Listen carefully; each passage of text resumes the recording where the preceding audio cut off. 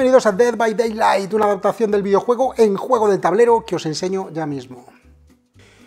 Pues aquí está el despliegue, bueno, un poco cortado, pero el despliegue de este Dead by Daylight. Os cuento, esto es un juego asimétrico, necesitamos siempre cuatro supervivientes y un asesino. Es importante esto, de manera, el juego empieza en tres jugadores, si juegan tres jugadores necesitamos que eh, uno sea el asesino y los otros controlen a dos eh, cada uno, a dos supervivientes cada uno. Si juegan cuatro jugadores, uno controlará a dos supervivientes y los otros dos sueltos y luego el asesino, y si juegan cinco, que sería lo óptimo, es un superviviente por jugador más un asesino. Aquí tenemos el tablero de juego, tiene dos lados, se puede jugar por cualquiera de los lados. El eh, tablero tiene un contador de la parte mala, por así decir, del asesino. Si llena estos ocho, hay, hay ocho, aunque algunos los veis cortados, pero si llena estos ocho marcadores de ganchos, el asesino gana inmediatamente la partida. Y aquí la parte de los supervivientes. Tienen que arreglar cuatro generadores y luego abrir la puerta. Si consiguen llenar esto con cuatro generadores y una puerta, en ese momento los supervivientes ganan la partida. Además tenemos estancias donde puede haber unas fichas, cada estancia nos dice inicialmente qué fichas tiene, están aquí, van por colores, azul, rojo, perdón, amarillo, rojo, azul y verde, aquí amarillo, rojo, azul y verde, o aquí amarillo, rojo, verde, verde, amarillo, rojo, verde, verde, están aleatorizadas. Y también en las estancias es donde empiezan los supervivientes, algunas estancias tienen un número para que al principio de la partida se lance un dado y veamos dónde empieza cada uno, incluyendo también el asesino. Estas estancias tienen unos caminos unidos por colores y algunas pueden estar bloqueadas como pared rompible que solo el asesino puede romper. El asesino también tiene su miniatura que también empezará en alguna casilla, la he puesto aquí, que aquí no puede empezar, pero bueno, para que la podáis ver.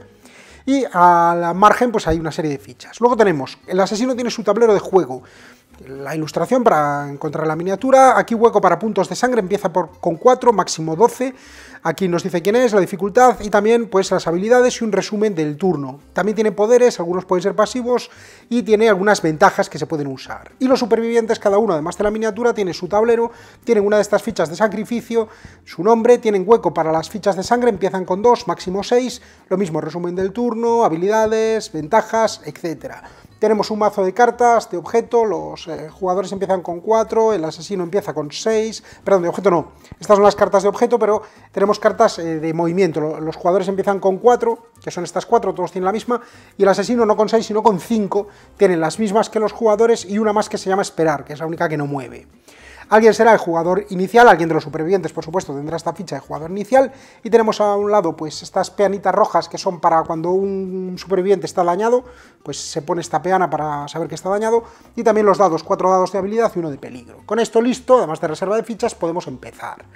El turno es eh, rápido, primero van los supervivientes y luego va el asesino. Y la estructura del turno es, primero hay una fase de planificación, lo podemos ver en cualquier tablero, que básicamente es escoger una carta de estas de movimiento, cada jugador escoge una, la pone delante de sí, y el asesino escogerá dos a la vez, que pondrá boca abajo siempre delante de sí de las suyas. Una vez que hemos planificado, pasamos a la fase de supervivientes, a la fase de, acciones. Primero los supervivientes, empezando por el jugador inicial, levanta su carta de movimiento, la ejecuta y puede interactuar si se mueve. ¿Por qué? Veréis. Para moverse estas cartas tienen un color, simplemente nos moveremos por el camino correcto. Ahora mismo puedo moverme por el camino amarillo, por el camino azul, por el camino rojo y por el camino verde, no pasaría nada. Pero si yo, por ejemplo, estuviese aquí y juego la carta roja, resulta que por el camino rojo no me puedo mover porque está bloqueado, solo el asesino puede moverse por aquí. Así que pierdo mi movimiento. Si no me muevo, no puedo interactuar. En cambio, si me muevo, por ejemplo, si estoy aquí y juego la carta amarilla, entonces me muevo por el camino amarillo, si hay objetos tapados, le damos la vuelta a uno, al que queramos, y ahora puedo interactuar bien con otro superviviente para curarlo, bien con algún objeto que esté destapado, etc. Pues eso es el turno de los supervivientes, sin más, jugar una carta, movernos, y si nos hemos movido, interactuar. En ocasiones podemos obtener un turno bonificado, es decir, una nueva acción eh, según avatares del juego. Una vez que todos lo hayan hecho, ahora os cuento las interacciones, va el asesino que lo mismo levanta primero de las dos cartas que ha preparado, una hace lo mismo, se mueve y puede interactuar con alguna ficha, y luego la segunda, se mueve y puede interactuar con alguna ficha o con algún superviviente. Las paredes bloqueables las rompe, esto se eliminaría, si decide moverse por lo rojo, rompe esta pared, se mueve y este camino ya queda disponible para todos. Veremos que hay otras opciones en las que no se puede mover.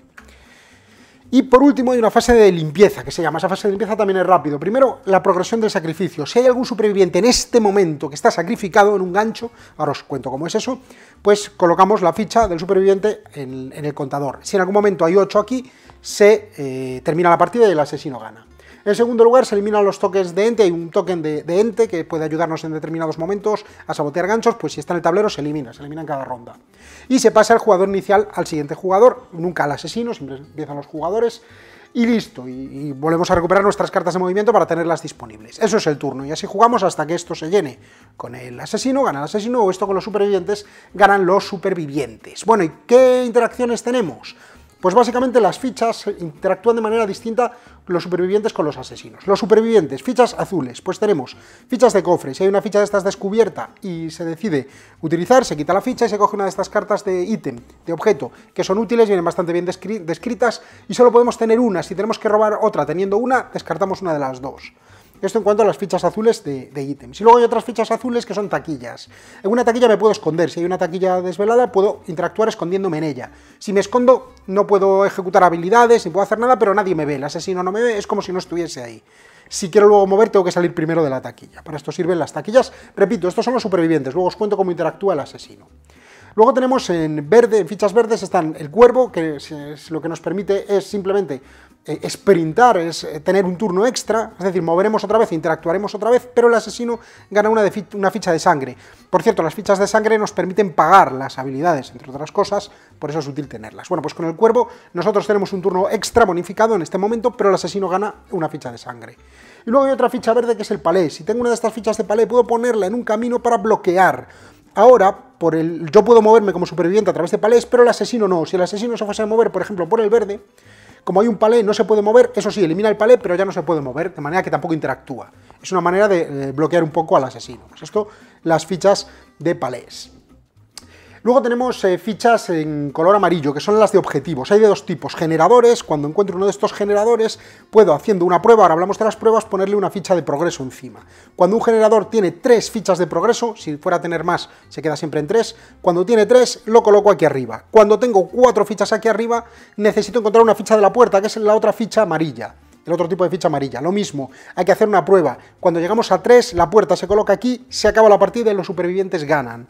De manera que hay que hacer pruebas, que ahora hablamos de ellas, para 4. Primero hay que encontrar 4 generadores, hacer pruebas y superarlas, 3 fichas cada generador y luego la puerta, lo mismo, hacer pruebas, fichas y superarla con esto. Y luego por último están las rojas, que son las malas. El gancho que eh, realmente estos ganchos son más para el asesino, pero nos permite, si encontramos uno de estos interactuamos, sabotear. Para sabotear el gancho, pues podemos, bueno, si hay algún superviviente enganchado, el asesino los enganchará, ahora lo vemos, si hay alguno enganchado lo, lo rescatamos, ganamos una ficha de, de, sangre haciendo eso y podemos sabotear el gancho poniendo encima esa ficha de ente que os decía antes, de manera que este gancho ya no se puede usar. Después de salvar a un superviviente que esté en un gancho, ambos, tanto el que salva como el salvado, pueden moverse. Y luego está el, el tótem. Este tótem simplemente hacemos un chequeo y si tenemos éxito, una tirada, pues ganamos dos fichas de sangre. Estos tótem, las rojas son más para el asesino, también es más para el asesino. Además de eso, también podemos curar a otro superviviente haciendo un chequeo si estamos con, con él. Y a la hora de mover, por cierto, nos podemos mover por los colores, pero si hay flecha como este, no puedo moverme. Es decir, aquí no puedo moverme por el amarillo, porque es lo que se llama saltar, sería mover de aquí a aquí, pero no al revés. Bueno, pues eso en cuanto a la interacción de los supervivientes. ¿Y qué pasa con el asesino que interactúa con las mismas fichas?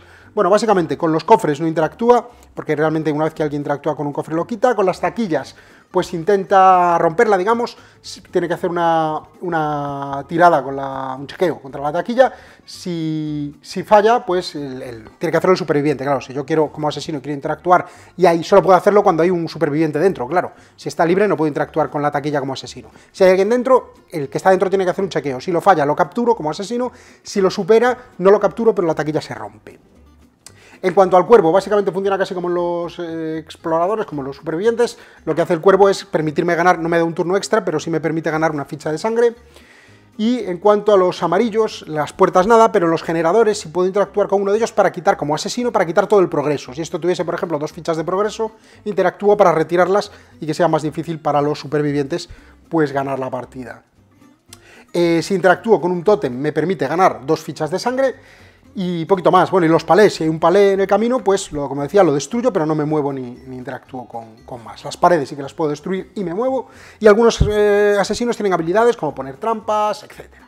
Bueno, ¿y qué más se puede hacer? Pues podemos capturar a un superviviente. Cuando estamos con un superviviente, podemos eh, capturarlo de manera que lo dañamos, poniendo esto, y si ya está dañado, haciendo un ataque lo dañamos, y si ya está dañado podemos capturarlo. Para capturarlo necesitamos tener un gancho en la localización en la que estamos.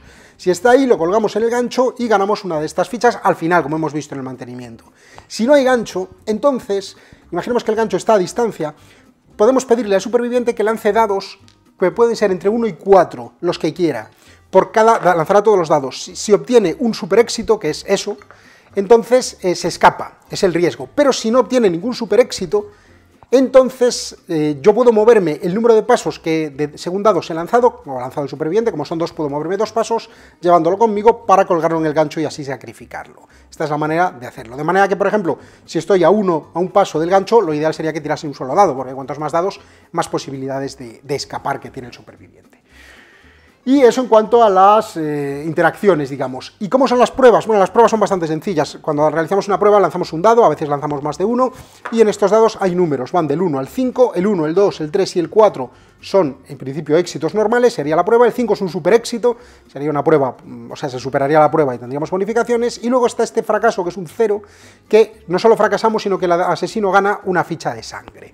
Y hay un dado más, el dado de peligro rojo, que tiene dos caras de fracaso, perdón, cuatro caras de fracaso y dos caras de super éxito, así que bueno, es un dado que se tira en ocasiones especiales. Y a priori no tiene mucho más, así vamos interactuando, vamos jugando, moviéndonos, los eh, jugadores, los supervivientes, luego el asesino, hasta que el asesino complete esto, que gana inmediatamente, o los supervivientes completen esto, que ganan inmediatamente. Pues ya veis, un intenso juego asimétrico, Dead by Daylight.